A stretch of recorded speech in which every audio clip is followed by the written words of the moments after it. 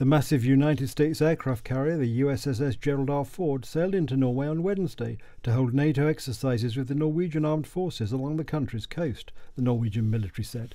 This ship is the world's largest aircraft carrier, and the exercises, due to start in the coming days, are a show of force of the North Atlantic Treaty Organization at a time of heightened tension between the military alliance made up of 31 countries from Europe and North America and Russia over the war in Ukraine.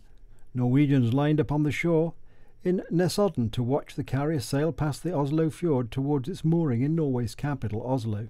Norwegian media reported that the USS Gerald R. Ford would sail north of the Arctic Circle. The Russian embassy in Oslo criticized the visit in a Facebook post saying, There are no questions in the north that require a military solution, nor topics where outside intervention is needed.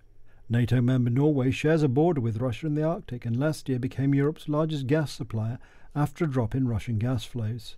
The Norwegian military and NATO allies have been patrolling around offshore oil and gas platforms since the autumn, following explosions on the Nord Stream pipelines in the Baltic Sea.